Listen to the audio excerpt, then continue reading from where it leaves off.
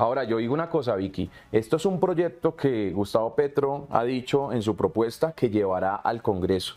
Yo hoy tengo que ser enfático en algo y es que aquí todo no, no, no se lo vamos a achacar completamente a Petro. Aquí los congresistas también tenemos una responsabilidad, Vicky. Y es que a Petro se le pueden ocurrir 20 mil locuras, pero el Congreso tiene que ser responsable de saber si avala o no esas locuras.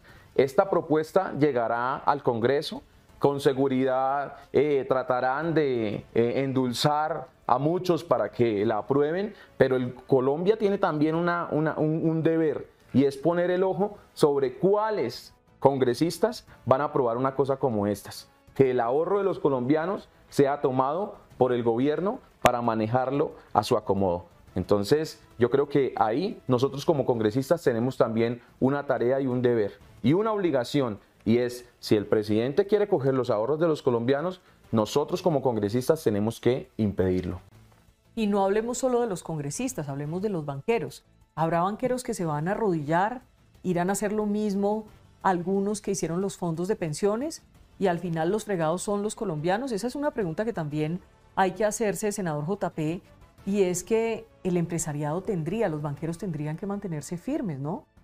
Sí, sí, hay, que hacer una voz de alerta también porque pues, eh, bueno, a muchos no les gusta que hagamos esta comparación con, países vecinos, pero en, Venezuela ocurrió que, en un principio, cuando Hugo Chávez llega a la presidencia, grandes, poderosos, eh, terminaron aliándose y creyendo en este hombre y es lo que ha venido sucediendo en Colombia, que pues, ha salido a la luz esos acuerdos que han llevado a cabo eh, en el tema de las pensiones, en el tema de la salud y yo espero que pues en este tema los banqueros no vayan a ser cómplices de algo que después les pueda traer muchas consecuencias y, sobre todo el, país termina, terminará pagando por estos acuerdos que hagan entre el gobierno y estos eh, poderosos que manejan la economía en Colombia. Se comprueba lo que mucha gente eh, ha alertado sobre el famoso socialismo y es que en campaña prometen darle a la gente, pero una vez llegan al gobierno empiezan a quitarle.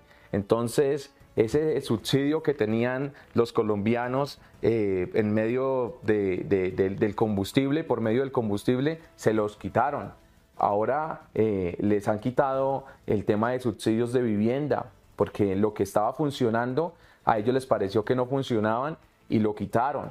Eh, los jóvenes que estaban esperando una respuesta de, en lo que mencionaba anteriormente, la ampliación de cupos universitarios, no se la dieron. Y así han ido quitándole eh, eh, en las pensiones, por ejemplo, el tema de las pensiones, esa reforma pensional que fue aprobada, claramente es coger la platica de las pensiones para ellos darle un uso de regalar, de, de derrochar a través de subsidios sin una responsabilidad futuro. Asimismo, entonces lo van a hacer con los ahorros de los colombianos. Entonces, tocan la salud, tocan las pensiones, tocan la vivienda, tocan el empresariado y ahora van por los ahorros. Esa es, esa es la mayor muestra de lo que representa el socialismo en Latinoamérica y que Gustavo Petro quiere replicar en Colombia.